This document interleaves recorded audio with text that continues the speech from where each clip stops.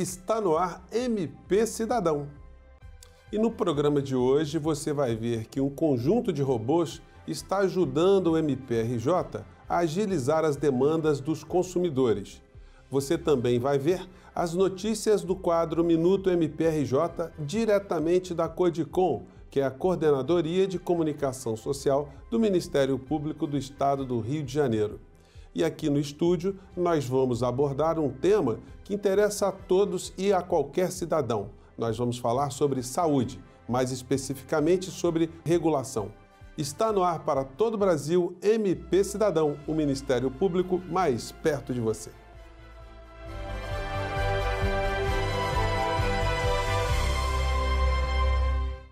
E conheça agora o Lira e a Zuleika, os robôs que estão agilizando a vida do CAL consumidor do MPRJ.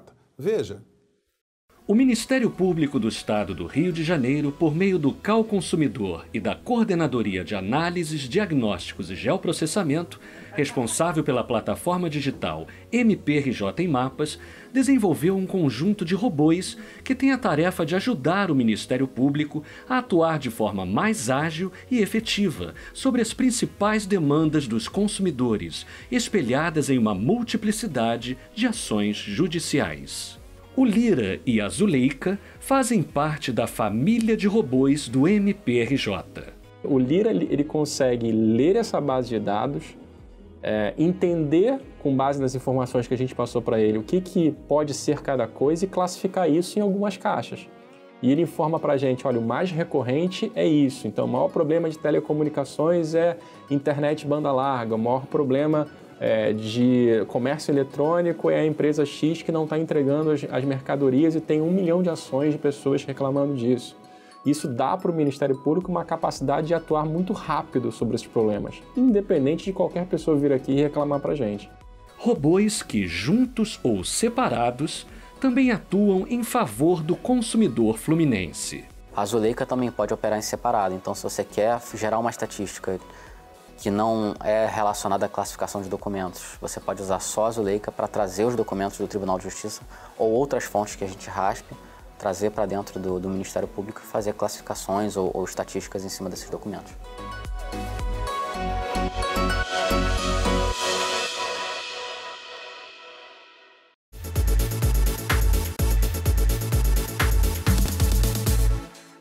Ok, e esse é o MPRJ sempre na vanguarda dos interesses coletivos e com o uso dessa tecnologia, certamente quem está ganhando é o consumidor. E por falar em ganhar, nós vamos ficar agora por dentro das principais notícias do Ministério Público do Rio de Janeiro no quadro Minuto MPRJ. É com você, Renata Leonardo. Olá, José Fernandes. Eu separei aqui para o nosso telespectador três notícias do site do MPRJ. Vamos à primeira? O MPRJ empossou, em sessão solene, os membros eleitos para o órgão especial do Colégio de Procuradores de Justiça para o biênio 2019-2021. Foram empossados os procuradores de Justiça Patrícia Glioche, Maria da Conceição Santos, Patrícia Silveira da Rosa, Pedro Elias Sanglar, Sumaia Terezinha Elaiel, Kátia Porto, Maria Luísa São Paulo, Marlon Cordovil, Ângela dos Santos e Cláudio Henrique da Cruz Viana. Mais uma, Zé. E o MP sediou a segunda reunião ordinária de 2019 do Grupo Nacional de Combate às Organizações Criminosas, o GENICOC. O encontro reuniu membros dos Ministérios Públicos que atuam nos grupos de atuação especial no combate ao crime organizado, os GAECOS, e também nas coordenadorias de inteligência, para a troca de experiências e aprimoramento do combate a essas organizações. E agora, para finalizar, o Ministério Público, por meio da oitava Promotoria de Justiça de Tutela Coletiva da Cidadania, expediu recomendação para que o prefeito Marcelo Crivella se abstenha de adotar medidas administrativas que restringam a livre circulação de revistas, livros e periódicos de conteúdo LGBT por meio da imposição da lacração de suas embalagens e da inserção de advertência quanto à natureza do material. O documento esclarece que essa restrição só poderá ocorrer nas hipóteses de conteúdo pornográfico, nos mesmos moldes exigidos daqueles que promovem a circulação de materiais com a narrativa heterossexual. E você aí de casa, acesse www.mprj.mp.br e não esqueça de nos seguir nas nossas redes sociais. José Fernandes. Obrigado, Renata. E agora a gente vai fazer um pequeno intervalo, mas você não saia daí porque a gente volta já já com o MP Cidadão.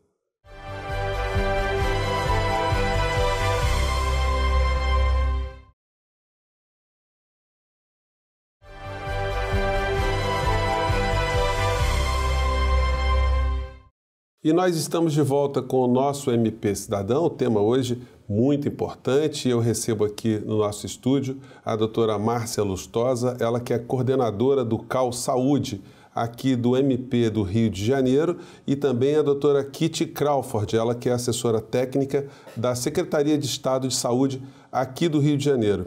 É, apesar de a gente estar falando em situações do Rio de Janeiro, o assunto interessa a você no Brasil inteiro, porque o tema é de toda a cidadania no nosso país, não é isso, doutora é, Márcia? Eu queria começar com a senhora é, perguntando o que é regulação. Bem, é importante a gente começar falando que é, o SUS ele é regido por alguns princípios. A nossa Constituição fala nisso e a principal lei do SUS, que é a Lei 8080 de 90, fala também sobre isso. Então, entre esses, esses princípios, existem três que são principais, fundamentais a integralidade, a universalidade e a igualdade. Então, o SUS ele, ele pretende ser um, um sistema universal que atenda a todos de forma integral em todos os níveis de atenção à saúde e de forma igualitária, sem fazer distinção contra nenhum cidadão. E para o SUS atender esse princípio da integralidade, ou seja, prestar a saúde em todos os níveis de atenção, é necessário que, que se pense é, em que, onde serão prestados esses serviços, né? É, é, difícil a gente imaginar um município muito pequeno, com, muito, com 5 mil habitantes, 10 mil habitantes, que vai ter na, no seu sistema de saúde todos os níveis de atenção, todos os serviços de saúde que são necessários. Muitas vezes eles vão ter atenção, quer dizer, todos os municípios têm unidade de atenção primária à saúde. Alguns vão ter é, unidades pré-hospitalares, unidades de, de urgência. Alguns vão ter hospitais. Mas certamente a maioria deles não vai ter serviços especializados de cardiologia, de oncologia, de oftalmologia, uma série de outros serviços. Então, é, é feita uma pactuação entre os entes, entre os municípios, entre muitas vezes os municípios é, com o Estado, para que esses municípios que não têm toda essa oferta de serviços possam acessá-los em algum lugar. E é importante que para que essa, esse acesso se, se, dê de forma igual para todos, que exista um, um, um sistema, um instituto que regule isso, que, que é, permita que o cidadão têm acesso a esses serviços de forma igualitária. Então, o SUS, o Ministério da Saúde, pensou num, num, num instituto chamado regulação. Através da regulação, todo e qualquer cidadão, em tese, se ele for registrado na, no sistema de regulação, que pode ser o CISREG, pode ser qualquer sistema que o município resolva adotar, é, em princípio, o CISREG é o sistema que o Ministério da Saúde disponibiliza para os municípios, né, de forma gratuita. Então, esse é o mais utilizado, mas podem ser outros. Então, em princípio, aquele cidadão ele vai ser inserido no CISREG via unidade básica de saúde né, do seu município, e assim ele vai ter acesso a consultas especializadas, a cirurgias eletivas, a serviços que o seu município não dispõe. Uhum. Agora, a regulação ela tem relevância também no âmbito intramunicipal, dentro do município. Por quê? Muitas vezes, se, em se tratando de municípios maiores, são muitas unidades básicas poucas unidades de urgência e emergência, poucos hospitais. Então, para que todos tenham acesso àqueles serviços oferecidos dentro do próprio município, também tem que haver regulação. Esse é o ideal, que todo município exerça esse nível de regulação também. Deixa eu pegar aqui, doutora Kitty, é, como é que funciona aqui no estado do Rio de Janeiro? Eu acho que, é, pelo modelo que a gente tem aqui, dá para as pessoas de outros estados entenderem como é que a coisa funciona mais ou menos nos seus estados também? Então, o estado do Rio de Janeiro é um estado que é composto por 92 municípios com realidades bem diferentes, tanto de estrutura de saúde quanto de sistemas e existência ou não de centrais de regulação. É, quando a gente fala em regulação, as pessoas tendem a pensar na função primordial que é o do transferência, do agendamento. Mas a regulação tem outras funções além disso. Ela tem que monitorar é, a demanda existente no seu território, seja ele municipal ou estadual, e ela tem que ver qual é a oferta de serviços. Então, em função dessa demanda e oferta, ela vai propor, né, ela vai sugerir aos seus gestores máximos é, é, políticas de saúde para aquela população. Ou vai contratualizar, sugerir contratualização de serviços que estão com baixa oferta e alta demanda, ou vai sugerir ações de saúde que previnam determinada patologia. É, os municípios do Rio são bastante diferentes. A gente tem um município extremamente rico, que é o Rio de Janeiro, extremamente populacional, e temos outros municípios que são extremamente pobres e com baixa população. Temos ainda uma herança da época do, da capital do Rio de Janeiro, onde a gente tem, dentro do município do Rio de Janeiro, seis hospitais federais, três institutos federais que na verdade não são nem municipais e nem estaduais e deveriam atender a toda a população do estado e até do país por ser um ente federativo. É, então a regulação funciona muito diferente nesses municípios. Sim, como é que assim dá, dá um exemplo para a gente assim de, de, um caso mais típico que, que sempre é demandado é, no sistema? Por exemplo, é, a gente tem é, determinadas regiões, o, o, estado do Rio de Janeiro é dividido em nove regiões de saúde. A gente tem a região serrana, que tem uma carência muito grande de atendimento de cirurgia vascular. E na região, a gente não encontra atendimento para esse tipo de patologia. Os pacientes precisam ser encaminhados para outros municípios, na grande maioria no Rio de Janeiro ou, ou Vassouras. Então, esses pacientes são encaminhados para esses territórios através da regulação. A unidade básica ou o hospital local lá da região serrana insere no sistema de regulação, seja ele qual for, como a doutora Márcia colocou, e a partir daí faz-se o agendamento ou a transferência do paciente, porque a regulação ela pode ser tanto ambulatorial quanto de internação e também de urgência entre unidades. Uhum. Olha, a gente vai ter que fazer um pequeno intervalo. Eu vou eh, devolver a palavra para a senhora no próximo bloco, porque tem muitas questões aí que você quer saber, que eh, são dúvidas de todas as pessoas no Brasil que utilizam o sistema de saúde pública. Mas a gente volta já já com o nosso MP Cidadão. Não sai daí.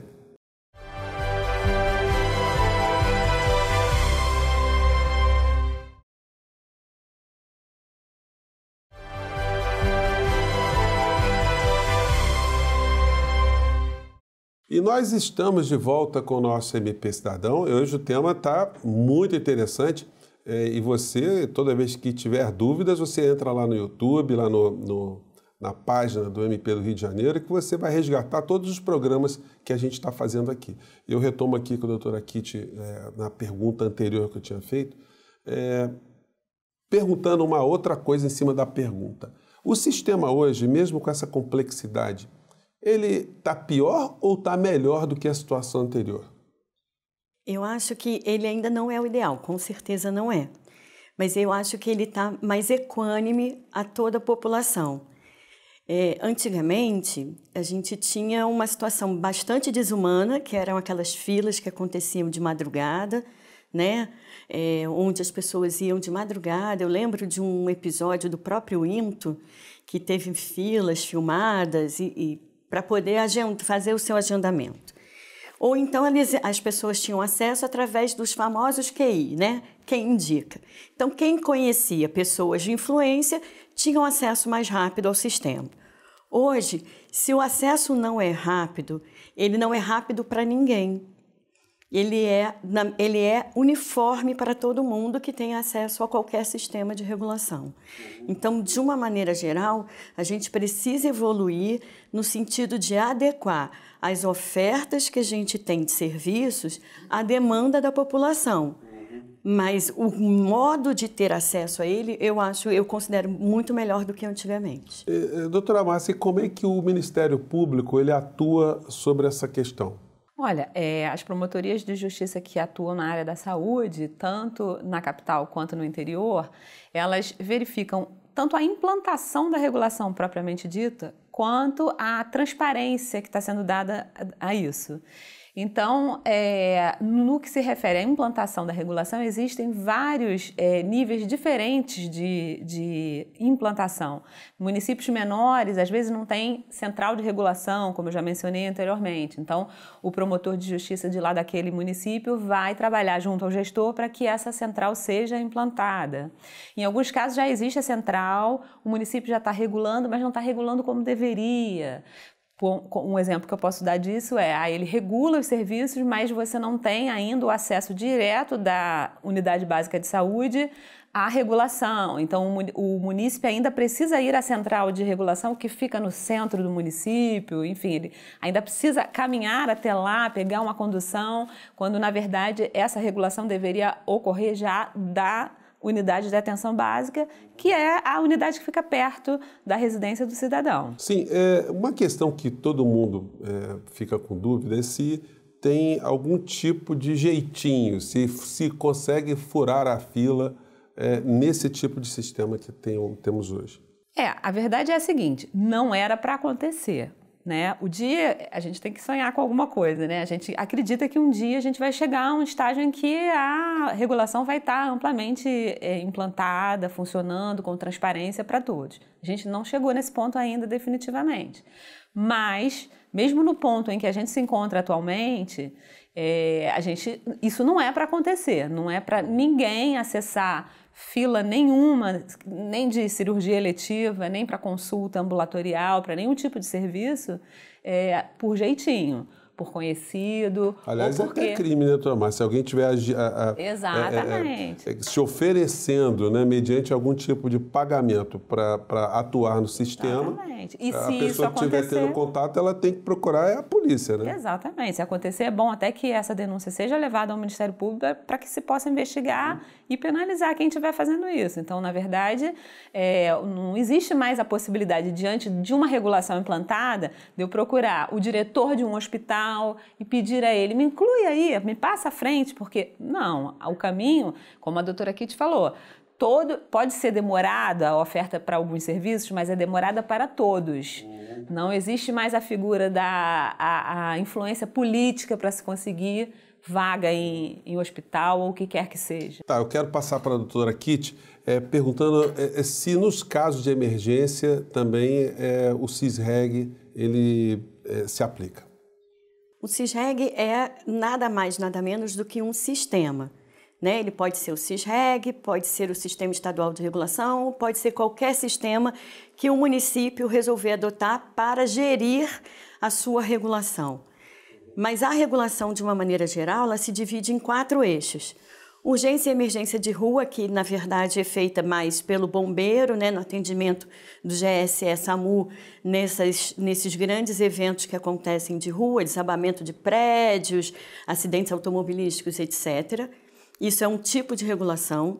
A regulação de urgências e emergências entre unidades de saúde quando eu tenho um paciente que infartou e está dentro de uma clínica da família, por exemplo, que é uma unidade básica, não vai poder atender aquele paciente ele precisa ser transferido com urgência para uma unidade especializada.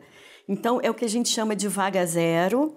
Então, esse paciente é incluído nessa plataforma vaga zero para que ele possa ser é, é, regulado com prioridade. E, para isso, existem todos os critérios elencados que dizem se aquela situação é de vaga zero ou não a regulação de internação e a regulação de consultas e exames especializados. São esses os quatro eixos. É, como você falou, a, a regulação tem que trabalhar com alguns critérios. O critério de gravidade é um deles. Gravidade, é, é, existência da vaga, o perfil da vaga que existe, é, o contrato, a contratualização que existe naquele determinado município para determinadas situações é, e, e, o tempo de evolução das patologias. Esses são basicamente os, os critérios mais pontuais. Que são analisados caso a caso. Doutora Márcia, o cidadão ele tem como fiscalizar esse sistema também? É possível acessar algum tipo de ferramenta para saber se a, o cronograma está certo, se o sistema está democrático mesmo? É, a esse respeito, a, o município do Rio vem se aperfeiçoando, ele, eles criaram uma plataforma para dar transparência à regulação, para dar transparência às filas, vamos dizer assim, né? E existe uma interface para o cidadão, sim.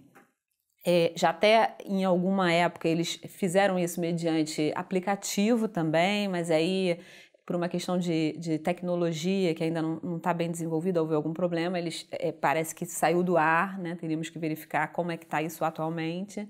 Mas via é, por meio dessa plataforma municipal de saúde, é, da Secretaria Municipal de Saúde, ele pode sim verificar se ele está regulado e a ordem dele na fila uhum. para os procedimentos, seja cirurgia, seja para consulta ambulatorial. Doutora Kit, para finalizar, é, quem tem plano de saúde privado, ele também pode acessar os serviços públicos é, via o plano de saúde dele?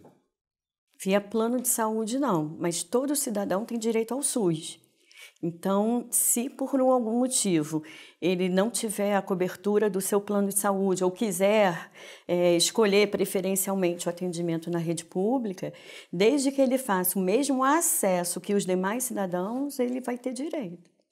Olha, gente, então com essa fala, doutora Kitty, a gente encerra o nosso primeiro programa, que a gente vai tratar ainda uh, sobre ele no próximo, né? Mas a gente fica por aqui. Eu quero agradecer imensamente a presença da doutora Márcia Lustosa, ela que é coordenadora do CAL Saúde do MP aqui do Rio de Janeiro, e a doutora é, Kitty Crawford, ela que é assessora técnica da Secretaria de Saúde aqui do Estado do Rio de Janeiro. E você pode acompanhar o nosso programa através do portal do Ministério Público do Rio de Janeiro e também no YouTube, também lá na página do no canal do, do MP do Rio de Janeiro também. É, e se quiser mandar suas críticas e sugestões, você está convidado a enviá-las através do endereço eletrônico que está aparecendo aí na base do seu monitor. Eu fico por aqui, um grande abraço e não perca o nosso programa semana que vem. Tchau!